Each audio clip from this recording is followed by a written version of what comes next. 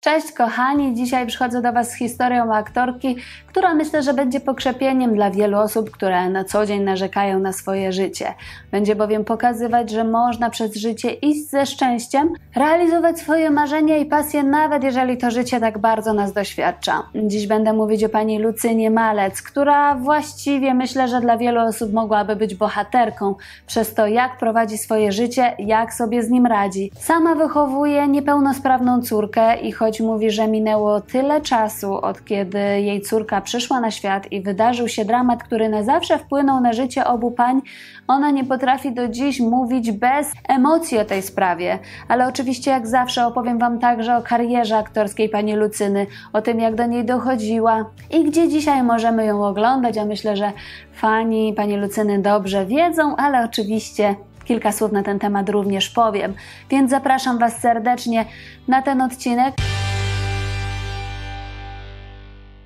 Pani Lucyna Malec urodziła się 27 lipca 1966 roku w Bielsku Białej, a w 1989 roku ukończyła Państwową Wyższą Szkołę Teatralną w Warszawie. I w tym samym roku poznała także swojego przyszłego męża, który był prawnikiem. I również po studiach wszystko w zawodzie zaczęło jej się układać, ponieważ już wtedy dostała angaż w Teatrze Kwadrat, z którym związana jest do dziś ale już wtedy, jako młoda absolwentka szkoły aktorskiej, potrzebowała pieniędzy.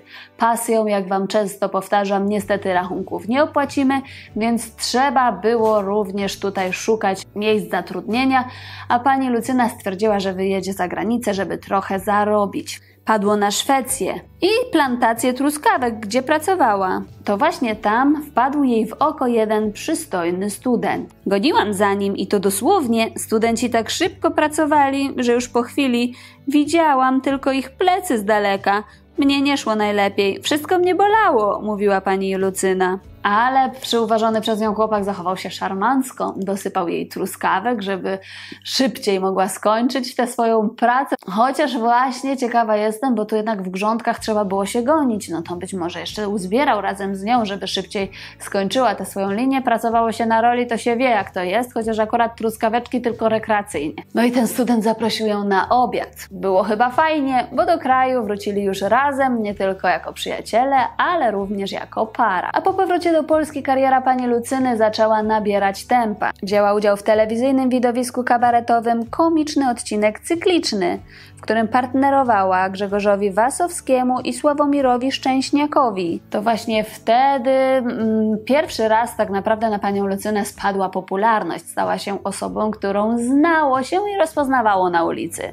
Wtedy też debiutowała na małym ekranie w takich serialach jak W Labiryncie czy 40-latek, choć jej role były raczej małe, wręcz epizodyczne. I choć pani Lucyna pracowała w zawodzie, głównie realizowała się w teatrze, a przez lata jej role były małe, epizodyczne lub drugoplanowe.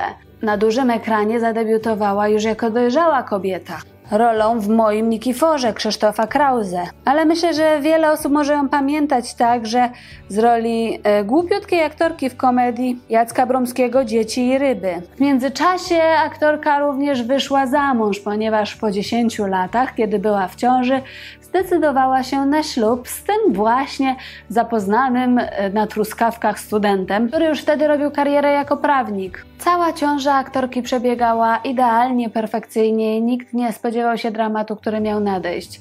Aktorka w chwili, kiedy urodziła swoją córkę Zosię, miała 32 lata ale poród miał niestety zupełnie inny przebieg niż się spodziewano, niż każda kobieta, która idzie do szpitala, by przywieźć do domu swoje dziecko, oczekuje. Wszystko działo się bardzo szybko i bardzo dramatycznie.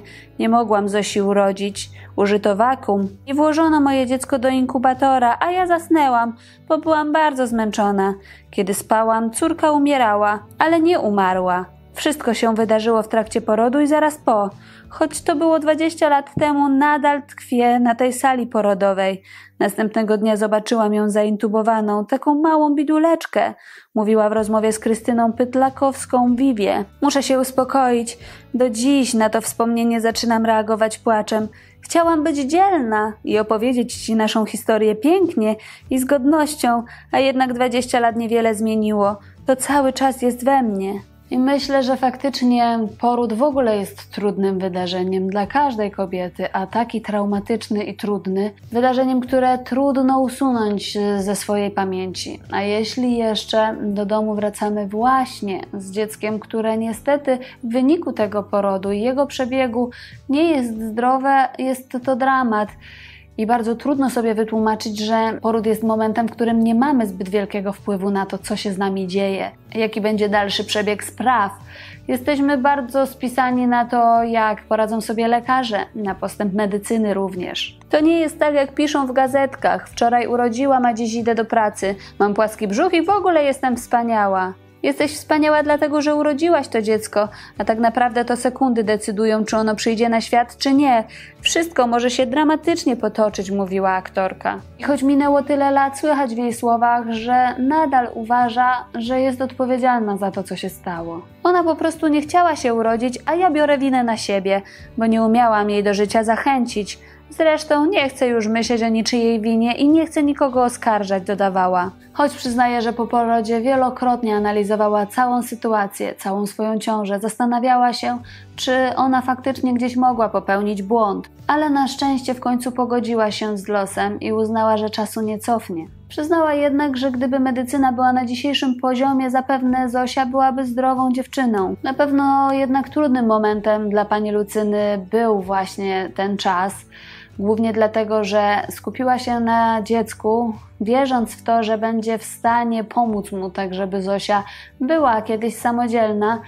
I nie zwracała uwagi na to, że rozpada się jej małżeństwo. Trudno jednak mieć również do niej pretensje. Myślę, że wiele matek postąpiłoby w ten sposób, i myślę, że należy tutaj mieć, będąc partnerem kobiety, której przytrafiła się taka tragedia, mieć wielką wyrozumiałość dla tej sytuacji, przede wszystkim pomagać. Przecież to nie kobieta jest jedyną odpowiedzialną za dziecko. Ale niestety realia w Polsce są takie, że bardzo wielu mężczyzn odchodzi, kiedy dowiaduje się, że e, mają chore dziecko. Nie wiem, czy w tej sytuacji było tak samo, ale mówię tylko o tym z tego powodu, że chciałabym powiedzieć, że wszystkie kobiety, które wychowują dzieci niepełnosprawne same uważam za bohaterki. I dla mnie też jest krzywdzące to, że wielokrotnie mówi się, że mężczyzna, który odszedł, nie udźwignął tego, nie dał rady. Czy taką matkę, która zostaje sama z dzieckiem niepełnosprawnym, ktokolwiek pyta, czy da radę? Czy ma ona jakiekolwiek inne wyjście? Kobieta musi, prawda? Jest to naprawdę bardzo zastanawiające, czemu w ten sposób na to patrzymy. Jednak aktorka nie chciała opowiadać nigdy o przyczynach swojego rozstania. Zdradziła, że po porodzie była tak skupiona na Zosi, że nie było już miejsca na nikogo innego. Ale jednak przeżyła depresję, załamanie nerwowe. Przyznała, że myślała nawet o najgorszym. Może bym się położyła i umarła, ale tak naprawdę jak mogłabym zostawić córkę, która miała tylko mnie, mówiła i zamiast się poddawać, przekuła wszystkie swoje emocje na działanie. Ćwiczyła przez 4 godziny dziennie z córką. Wierzyła bowiem, że rehabilitacja zapewni coraz lepszy stan jej dziecku. Żaden lekarz nie miał na tyle odwagi, by powiedzieć mi wprost: To dziecko jest niepełnosprawne, ale potem już nie musieli mi nic mówić, ja widziałam i myślałam o tym, jak dam radę, wspominała Vivie. Do dziś Zosia nie mówi. Nie potrafi się sobą zająć. Choć jak na to, co przeszła w życiu, radzi sobie świetnie, jest bardzo dzielna. Gdyby teraz siedziała z nami przy stoliku w tej kawiarni, przywitałaby się z tobą, byłaby uśmiechnięta, piłaby sok albo kawę, uczestniczyłaby milcząco w naszej rozmowie, ale gdy zostawi się ją samą, nie wykaże żadnej inicjatywy, nie wykona wokół siebie żadnej czynności. Cały czas trzeba ją stymulować, pobudzać do życia.